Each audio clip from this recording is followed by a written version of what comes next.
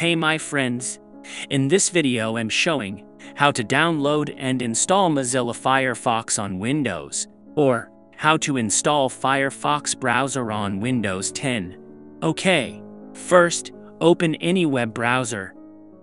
Here type in Firefox. Click on Firefox Download. Click on this first link.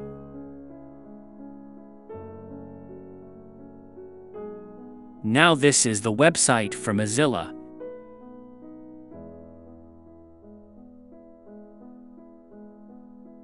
Click on Download. Your download should begin automatically. If not then try to click on Download again. Here you will see the download start. After click to start the installation. Click on Run.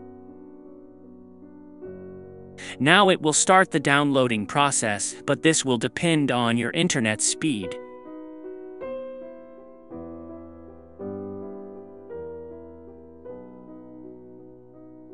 After that, you will start setting up the way you want it to be.